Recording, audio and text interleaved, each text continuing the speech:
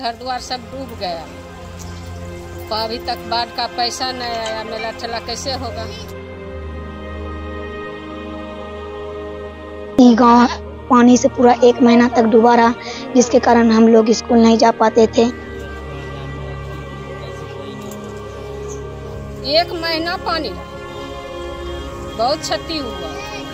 भूसा उसा सब भास गया। गाय एक ठो मर गया पानी में। क्षति तो हुआ लेकिन सात हज़ार रुपया जो है सात हज़ार भी अभी सात को पैसा नहीं आया। टोकरिए छिट्टा ढूक कर आ लोग उमक रहे जे बार पीत वाला पैसा जेते मेला ले तो नहीं अले तो कौन चीज़ करते? मेला कैसे देखेंगे? घूमेंगे।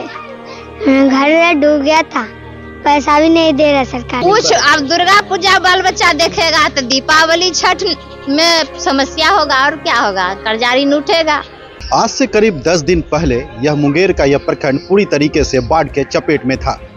लोगों को यह चिंता थी आने वाला समय दुर्गा पूजा दीपावली और छठ महापर्व जो बिहार का कहा जाता है वह कैसे मनाएँगे?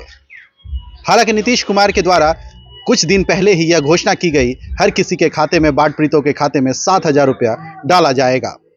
तो आज हम इसी सिलसिले में यहाँ पर लोगों से बातचीत करने आए हैं। नाम रानी देवी है।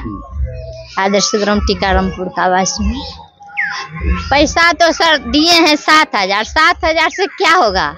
क्या सरकार अगर दिए तो दसों हज़ार, बारह हज़ार देता तो कुछ राहत होता। सात हज़ार तो एक दो, एक किस्त, दूसरों किस्त नहीं हुआ। किस्त है बहुत सारा आदमी का। नहीं, किस्त हो रहा है और नहीं, घर मेंटेन हो रहा है बहुत सारा। बहुत चीज़ छियानत हुआ, पानी पूरा हो गया था।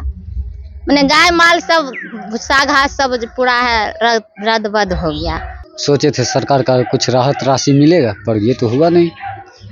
मतलब लिस्ट में नाम तो है मेरा, लेकिन बैंक अकाउंट किसी और का जोड़ दिया है, और अप टू डेट करने गए चेंज करने गए तो चेंज भी नहीं हुआ। अपना किस्त मांगते हैं तो हम लोग भी सुन के रह जाते हैं। इसमें तो कुछ कह नहीं सकते, उसका भी काम है, वो भी करेगा ही। हम लोग लाचार है तो बस जैसे हो रहा है, सुन के रह जा रहे हैं। नहीं आयल छै पैसा आया। पैसा हमें अभी तो खाता चेक करा के लेने नहीं आयल पैसा।